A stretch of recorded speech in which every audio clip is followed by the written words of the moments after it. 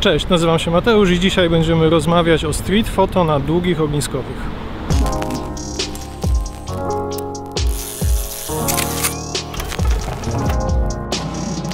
Jak na pewno kojarzycie, mm, w street photo królują ogniskowe między 28 a 50 mm i przypuszczam, że 99% zdjęć wpisujących się w szeroko pojmowaną fotografię dokumentalną, reportażową, e, urbanistyczną są robione właśnie na tych ogniskowych, ale mm, czasem można spotkać nawet na YouTubie osoby, które się zachwycają możliwościami teleobiektywów w kontekście street photo, tym, że można robić zdjęcia ludziom przede wszystkim z dużej odległości bez podchodzenia i wchodzenia z nimi w bezpośrednią interakcję.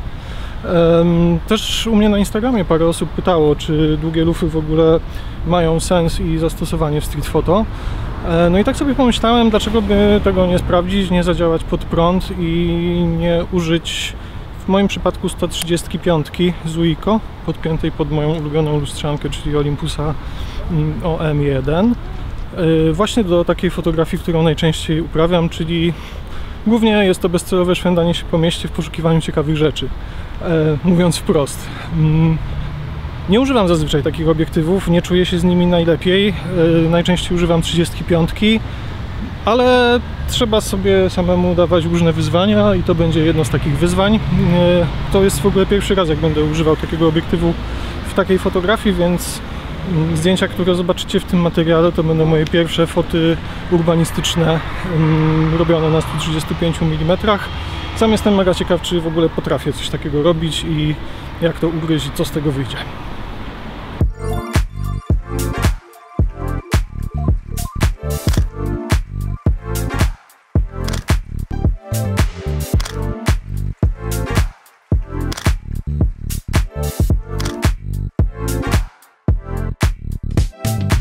Takich czysto technicznych kwestii mm, warto wiedzieć o tym, że używanie dłuższych obiektywów wymaga też innych ustawień w samym aparacie, dlatego że skraca nam się najdłuższy możliwy czas otwarcia migawki, z jakiego możemy korzystać, żeby zrobić nieporuszone zdjęcia.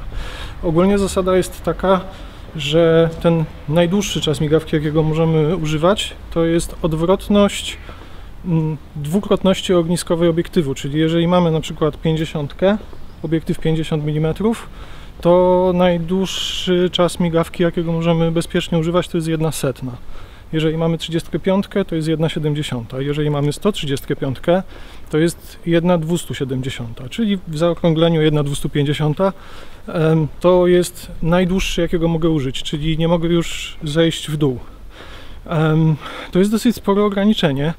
Musimy mieć albo filmy o bardzo dużej czułości, albo bardzo, bardzo, bardzo dużo światła. Akurat teraz jest połowa czerwca i słońce za lekkimi chmurami, więc warunki nie są najgorsze, ale i tak w tej chwili robię zdjęcia na 1,250 i na przysłonie 5,6, więc jakbym chciał się mocniej domknąć, żeby mieć większą głębię ostrości, no to miałbym pewien problem, bo musiałbym już zejść mm, poniżej tego najdłuższego czasu, a to by mogło powodować, że zdjęcia będą poruszone. Po prostu im dłuższy jest obiektyw, im większe ma zbliżenie, tym bardziej każdy mikroruch, każde drganie naszej ręki i też na przykład klapnięcie lustra w mechanizmie samego aparatu będzie spotęgowane na zdjęciu, bo tak jakby mniejszy ruch w powiększeniu staje się większym ruchem, mówiąc łopatologicznie. Więc to jest rzecz, na którą mega trzeba zwrócić uwagę i pamiętać, że z takich obiektywów to tylko przy mega dobrym świetle i raczej na filmach o wyższej czułości.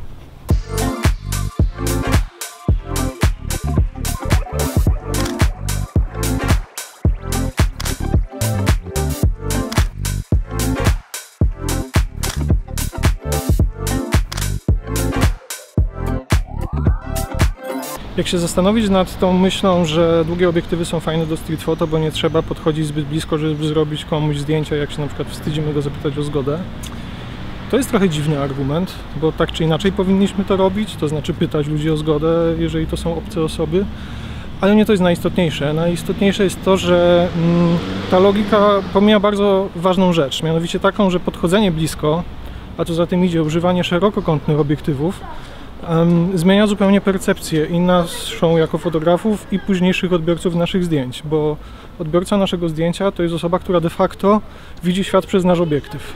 Więc wybór tego obiektywu mm, bardzo mocno wpływa na to, jak ten ktoś tę sytuację będzie odbierał.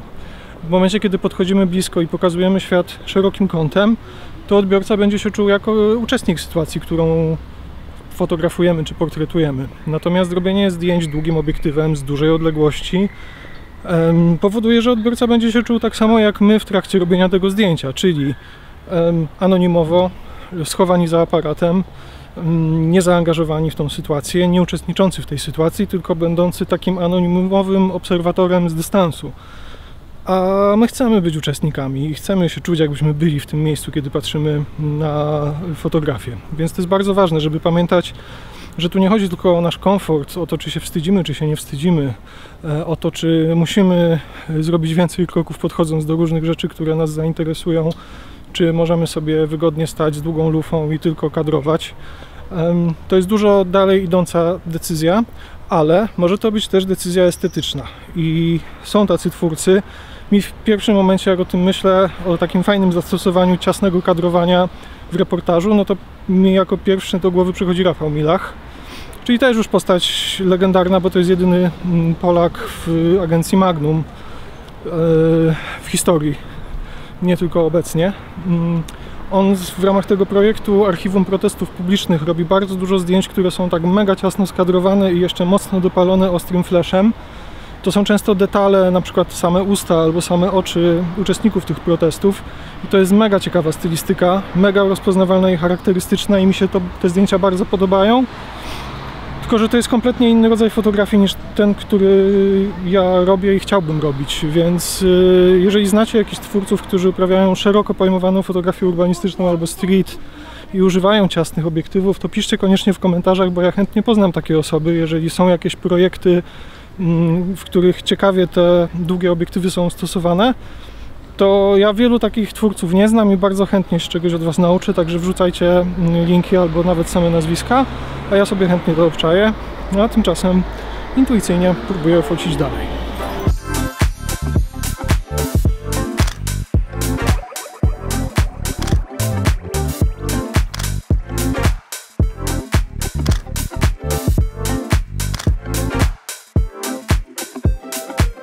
Muszę powiedzieć, że to jest mega trudne zadanie, robienie takiego street photo, jak zazwyczaj robię mm, ciasnym obiektywem.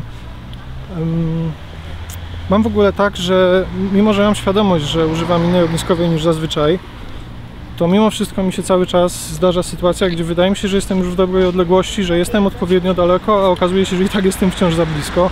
Czasem wręcz nie mam się jak odsunąć bardziej i coś mi tu nie pasuje. Do tego kwestia tych krótkich czasów, do tego kwestia mm, tej e, mocno domkniętej przysłony, co nie zawsze jest możliwe.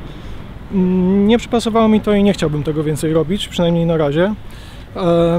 I tak sobie pomyślałem, w sumie uświadomiłem sobie to dopiero teraz, po zrobieniu tych zdjęć, że mm, próba takiego streeta na długim obiektywie to jest moment, w którym tak naprawdę człowiek jest sobie w stanie uświadomić, dlaczego dalmierze są tak bardzo popularne wśród osób uprawiających taką fotografię.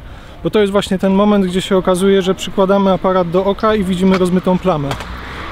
Jak się robi zdjęcia lustrzanką na 28 mm, to nie jest to aż tak odczuwalne, bo mm, nawet jeżeli nie jesteśmy w punkt z ostrością, to mimo wszystko formy, kształty i kompozycja jest dla nas czytelna. Ale w momencie, kiedy użyjemy dłuższego obiektywu, zanim my w ogóle trafimy w tą ostrość, y, zanim my użyjemy popychacza przysłony, żeby sobie sprawdzić głębię ostrości, zanim my skumamy, jak różne plany ze sobą grają, to sytuacja, którą chcieliśmy uwiecznić, już dawno przeminęła i nie wróci, więc ym, to jest chyba ta największa wyższość Dalmierzy nad lustrzankami w street photo, że my tam patrzymy przez osobny wizjer i od razu wszystko jest ostre i od razu widzimy kompozycję, od razu widzimy jak plany grają ze sobą nawzajem. Mm, Jest to jakby działanie trochę w odwrotną stronę niż w lustrzankach. Nie musimy domykać przysłony, żeby sprawdzić głębię ostrości. Raczej musimy się domyślić, jak płytka będzie głębia ostrości, jeżeli chcemy to robić na otwartej dziurze.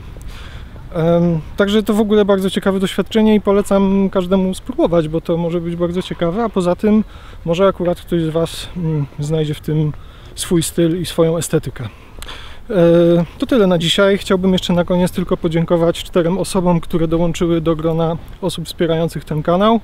Odpaliłem opcję wspierania jakieś 2-3 tygodnie temu i bardzo się cieszę, że już pierwsze osoby są chętne, żeby mi pomóc w rozwijaniu tego kanału, bo ja traktuję to mega na poważnie i chciałbym poświęcać temu więcej czasu, robić dla Was więcej filmów i robić je coraz lepiej. Mm, Wasze wsparcie daje mi po pierwsze motywację, no a po drugie możliwości, żebym to robił. Także jeżeli ktoś chciałby mnie wspierać, niech sobie obczai zakładkę na y, profilu mojego kanału. Na dole jest też przycisk wspieram.